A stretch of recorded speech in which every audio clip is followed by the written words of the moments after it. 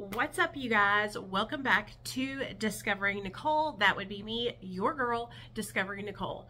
I love to talk about all things addiction, recovery, weight loss, and so much more. And today I'm going to be talking to you guys about my six week Ozempic journey update. So, we're going to be talking about weight loss, apparently, obviously, duh. Um, before I get into this video, I just want to say to you guys, let me move this back so it doesn't cut my head off. I'll just stand up. Um, I want to tell you guys that it has been a long time coming. I have struggled with my weight since I got sober eight and a half years ago, and I was miserable. Okay, I put on a good front on, you know, showing that I'm okay and that I'm beautiful and that I'm not miserable. But for these eight and a half years that I've been struggling with my weight, I have been a miserable ass motherfucking cow. Okay?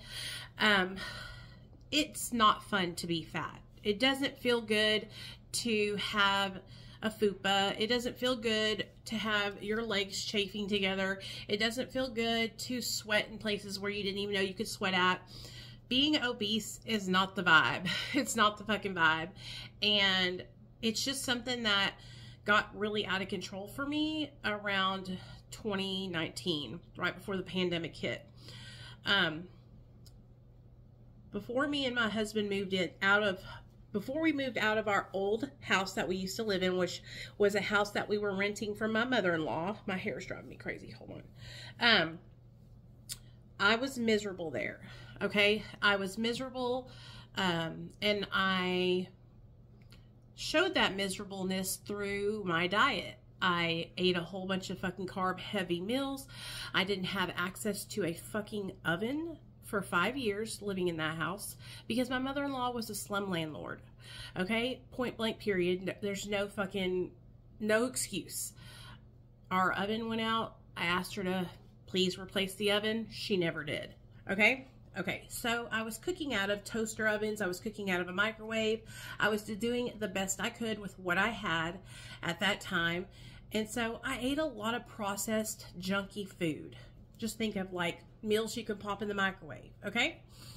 And so over the years, I started out when I got sober in 2015, I weighed 165 pounds. By 2020, I was 247 pounds and I was miserable and mortified. I felt horrible. I felt ugly. I felt uncomfortable. I felt all those feelings. I never in a million years thought I would become diabetic. I realized, oh God, a good six months ago that I had this insatiable thirst that I could not quench. And I was drinking, if you can see my little water bottle over there, it's not a little one, it's like this big. I was drinking like five to six of those a day, and my thirst could not be quenched. So I finally bit the bullet and I went to see my family doctor, and that's when I found out I was diabetic, which was about six and a half weeks ago. My doctor put me on Ozempic, and this medication has single handedly changed my life. And I'm going to list the ways it has changed my life. Before getting on Ozempic, I had a binge eating problem. I have binge eating disorder. I have been formally diagnosed, um, and it has been something I have struggled with all my life since before I even got on, uh, got sober. Before I got sober, I had these issues with binge eating. Um, I also would restrict um, restrict what I would eat. So for a long time when I was in active addiction, I would go days and days without eating at all. A lot of that was because I was on stimulants, but a lot of other reasons were because I was restricting because I was afraid to get fat. And so when I got on Ozempic, immediately after my first injection, within the first three days of being on this medication, I realized that I wasn't waking up in the middle of the night binging and I'm I get emotional about it because this was something I struggled to control for so many years. For God's sakes, in 2020, I went on the Tamron Hall show to talk about food addiction and binge eating disorder because that's how out of control my binge eating had gotten. I was tipping the scales at 250 and I'm only 5'5. Within three days of starting this medication, I had not binged at all. Then when I realized it had been a week since I binged, I knew right then that I was not going to binge ever again. As long as um, I have this medication to help me, um, I wasn't going to binge. And that's why now I am creating healthy habits and I'm training myself, right? I'm training myself that this is what this is what you eat, Nicole. Breakfast. I try to start breakfast out light, you guys, with egg whites, a piece of bacon, some coffee, and my drink, my water. You know, then around lunchtime, I will have chicken, salmon, or steak with broccoli, cauliflower, carrots, Brussels sprouts are my favorite. And that's what I eat for lunch. And I do the same thing for dinner. And I know you're probably going, oh my gosh, doesn't that get boring? No, no, it doesn't get boring at all because I always change the meat up. I am slightly obsessed with salmon at the moment, but it makes me feel safe. I know these foods. I know how many calories are in these foods. And so I know when I'm eating this meal, I'm getting about 400 calories. You know, so I try to keep each one of my meals at about 400 calories a piece for 1200 calories a day. Um, I've also started to incorporate working out. I've been going to the gym and I have been walking. For those of you guys that used to walk with me every day, now it's gotten so cold outside that me and my boss are going to my old boss, Miss Brewer, are going down to the gym because there's a gym here at my apartment building. And I've been riding the stationary bike, doing the treadmill, and doing the elliptical. And that is helping me so much. She helps me because she keeps me accountable. Kathy comes over, we go do it, we get it done for the day, and then I can move on with the rest of my daily activities. But having somebody to help me stay accountable is has been really, really important to me as well. But so many people have been commenting on my content saying, well, you're in recovery and you're injecting Ozempic. I don't know how many times I have to say it that I'm fucking diabetic. I found out that I have diabetes. I have to treat my diabetes, okay? My blood sugar was through the fucking roof. That's one of the reasons why I couldn't lose weight. Um, and so I think a lot of people think that I'm injecting some stimulant. Ozempic is not a stimulant. Ozempic is a GLP-1 receptor agonist. It is not a narcotic medication.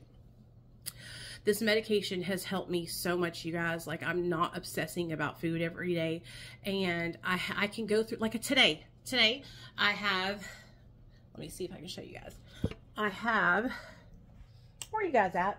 I have Paco right here. I have, where'd Snicklefrit go? Oh, there you are.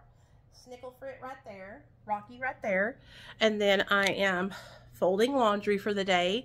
I just got done vacuuming. As you can see, I got my hair done too. Um, and I am about to do the dishes and just getting the house cleaned up on the weekend. I do this every Saturday. I do a deep deep clean, I dust, I mop, I vacuum, all the things, I fold all the laundry. And so that's what I'm doing. But I really wanted to come on here and share with you guys how much progress I've made. I've lost 12 pounds in six weeks. That's two pounds a week. When I tell you guys,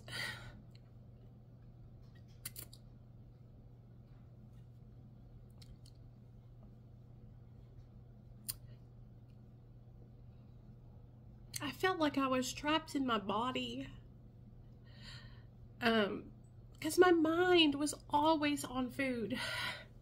And unless you've experienced binge eating disorder you might you won't really be able to relate. But if you know what i'm talking about when you have binge eating disorder all you think about is food all the time. And that's what it was like for me all the time. I found myself leaning on food to make me feel better when i was sad I found myself leaning on food when I was anxious. And that got me one place and one place only obese with diabetes. So, if you're in recovery and you are leaning on food, get it in check now before it's too late, before you get diagnosed with diabetes. Thank God I'm type 2 diabetic. I can reverse it, and that is the plan. You know, I've lost 12 pounds in six weeks. Another 12 pounds will come off in six more weeks for a total of 24 pounds. That's my goal. And um, I want to get down to 160 pounds. I'm 203 pounds today. So I really wanted to make this video for those of you guys that are discouraged, for those of you guys that are struggling with your weight, for those of you guys who have been diagnosed with diabetes. You know, I want you to know that there is a medication out there that can help you.